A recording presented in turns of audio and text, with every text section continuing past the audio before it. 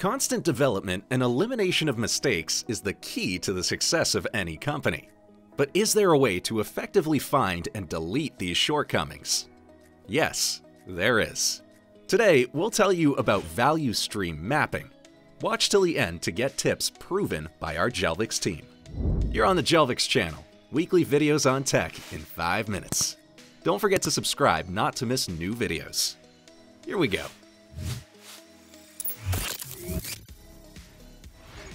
So what is value stream mapping, or VSM for short?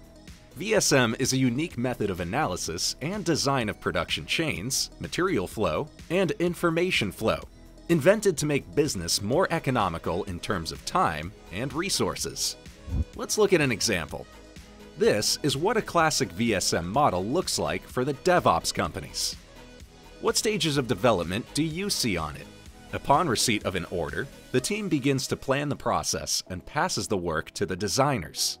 After that, the developers get to their positions, embodying the desired result. And finally, testers sample the resulting product, which is then sent to a satisfied client. But in real life, things don't always go according to plan, now do they? VSM helps to detect and eliminate bottlenecks and plan errors in time to speed up the delivery of the end product to the end customer and reduce team costs. This idea looks simple and seems to have been used for thousands of years. Well, almost. It's generally accepted that Toyota Corporation is a pioneer in this field. It's likely that before them, someone did use the method of value stream mapping, because similar designs can be seen in the book Installing Efficiency Methods by Charles E. Knoeppel. One way or another, the success of Toyota Motors caught the public's attention. Soon after that, VSM, or systematizing the flow of materials and information, as it was called in Japan, appeared in all the advisory materials for efficient business teams. But why is this method so popular? Of course, there's a great benefit that a single VSM scheme can bring. Let's see what we're talking about. First, we at Jelvix noticed that visualizing operations helps to find waste in operations. The word waste was used by the researcher Daniel T. Jones to call all processes that do not directly benefit the client and take up team resources.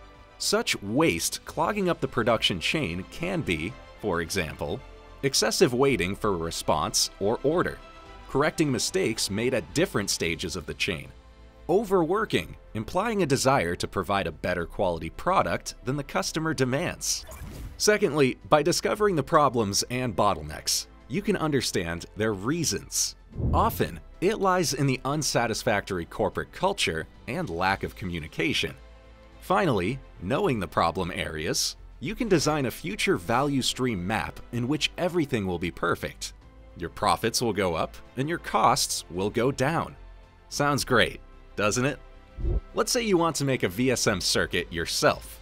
Where do you want to start? We've prepared a little step-by-step -step plan to help you figure it out. First, determine what customer need you're meeting. Maybe the product is too long to develop or the price is too high. Put yourself in the customer's shoes and criticize your work so that you'll come to the truth much faster. Assemble a competent team all the people directly involved in the development process, from executives to testers, can help and give you good advice. Who would you never invite to this team? Share in the comments section. So create and analyze a map of the current process. Don't be afraid to do the work several times, because you may find some unpleasant surprises after the second or even third study. Now, having made a full-fledged layout, think about what actions are unnecessary from the client's point of view. Ask yourself, why are they present in the development chain? Maybe they're there for technical reasons, or you just thought they were necessary. Either way, your job is to think about how to get rid of them. Plan for the future. As you look at the situation, you'll probably find several problems that can be solved quickly and painlessly.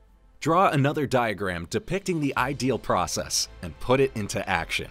Most importantly, don't be afraid to experiment and try new approaches. To make your life even easier, we'll tell you some useful tips based on Jelvix experience that's proven to be effective. Focus on your employees. In fact, the people doing the tasks know how things work better and where they have problems. Talk to them, see how the work is going, and you'll see for yourself what you can fix.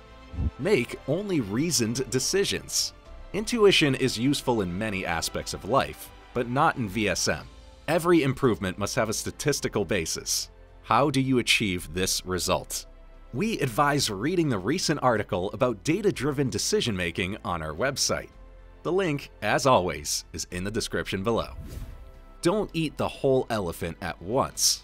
Your plans should be ambitious, but it can be impossible to implement all the changes at once. Split the work into parts and improve the whole process step by step. It's much easier that way. So, value stream mapping is an essential tool to make your business more fruitful, economical, and profitable. It's not as hard to learn as it sounds, but its impact is significant. Do you have any idea what your VSM would look like after watching the video? Drop the comment. This video was prepared by the Jelvix team. We help top brands worldwide to innovate and accelerate digital transformation.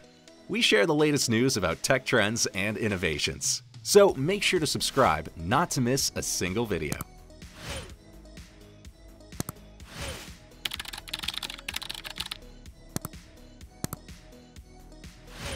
Also, share which topics we need to cover next on our channel.